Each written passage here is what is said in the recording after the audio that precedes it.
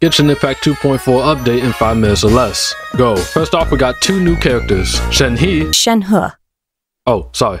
Shen He and Yun Jin. 云婵娟来，花。What the heck? The thicker than a snicker emo girl, Shen He, will be available in the first half of the banners, alongside with the short toothpick emo boy, Xiao. While the second half of the banners will include Big Dong Zhang and the Goat Chick, so four whole banners. Hope your Primogems are ready. Next, we got two more hangout events, one with Yunjin and one with the Mophead, one you don't want to listen to, and one that's hard to look at with her crusty, musty, raggedy, nappy, ironed on, gorilla glue, weave looking. I'm still waiting for Rosaria and Official Hangout. Next, we got a new weapon, Shen He's weapon, Calamity Queller. Cool. Next, Engraved Wishes. Do you remember this web event in September? Oh, you mean the event we got for the poor excuse of an anniversary where instead of putting all the millions of dollars you made every month since the game's release back into the game, and rewarding the dedicated and committed players who supported the game by creating an actual in-game activity that would bring the entire community together in a memorable and fun event, you decided to use that money to build a totally humble statue of Paimon in a place not even half the community would be able to see or visit? Cool! I've totally been wondering about that self-centered reward where not even 1% of the community get to have their message engraved on it ever since it was announced for the tragedy known as the first anniversary. Let's see how it looks.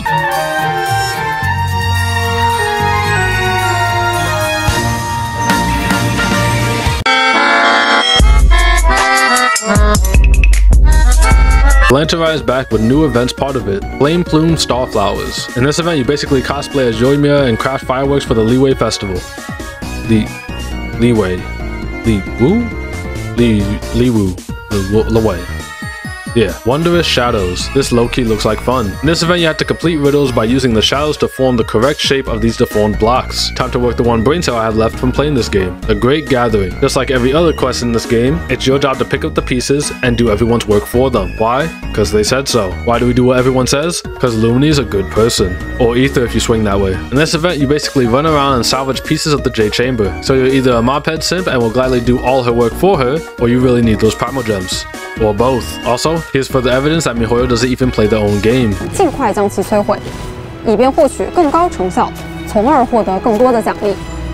活动中，我们还可以和 Incredible. The final activity to do in the Lantern Rite event, Ocean Defender. In this event, you take on the giant sea serpent. If this boss fight is anything like the Dvalin boss fight, you can expect to get bored of it after your second time doing it. Next, from completing the Lantern Rite, you are awarded with the choice between any of these four stars. Nice, better than an oversized Build-A-Bear made out of Legos. Next, four updates later, they are finally releasing new skins for the Mophead and Shrimp Ball Addict. And that's it.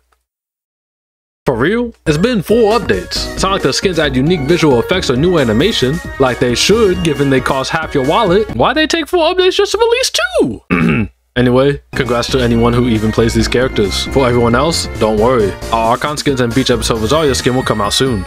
I hope. Eh. Probably not. Next, we got new events. A study in potions. In this event, you face challenges with the ability to use different potions, each with their own effects. Can't wait to beat each challenge and forget to use even a single potion, because the game is just that easy. 8 locals over mountains and seas. In this event, you act as a tourist guide and smuggle ninja raccoon bears outside of Inazuma and into Mondstadt and Leeway. Liwu. Le... Le... Le... Le... Le... This sounds like fun and totally not illegal. And for the final event, Windtrace is back. All you sweaty Mona and Ayaka players, your time has come once again. Next, the 2.4 update is adding a new map that looks like something straight out of Dark Souls. Seriously, if there's one thing Genshin does right, it's the character and map design. And it seems like they've only been getting better and better. Now if only they would do the same with the rest of the game. Also with mobile players. Next, with the new region comes new enemies. Bathysmal Vishap. These enemies can manipulate the environment as well as work together to perform combo chain attacks. These guys really out here playing Final Fantasy inside of Genshin. For real though, I love the idea of this and would love to see more unique mechanics like this for future enemies. They've also added a Pyro Abyss Lector and new elements of Spectres. Yay! Fun fact about the Pyro Abyss Lector, his attacks go through shields. Have fun. Next, we're finally getting more system optimizations. 1. Optimizes the Spiral Abyss display interface. Now you can see when you fail to reach a condition to complete a floor. So instead of the game telling you how much you suck after the floor is complete, the game will now tell you how much you suck before the floor is complete, just so you always know how much you suck. 2. Adds function to customize shortcut wheel. Wait, really? They actually did something we've been asking for? Ain't no way. 3. Optimizes display of map interface. You can now use the tab on the map to select different regions. What? They added something else useful? This is a joke, right? 4. Optimizes the display interface for crafting and forging. Now you can find the items you need more quickly. Three in a row! Bruh, I must be dreaming. Hold up. Where's my gun at? And finally, you can now select a group of items to move inside your Serenitea Pot. Nice. Now what about more storage space? We've also added a jukebox inside the teapot. Very nice. Now hit us with that storage space. Never mind.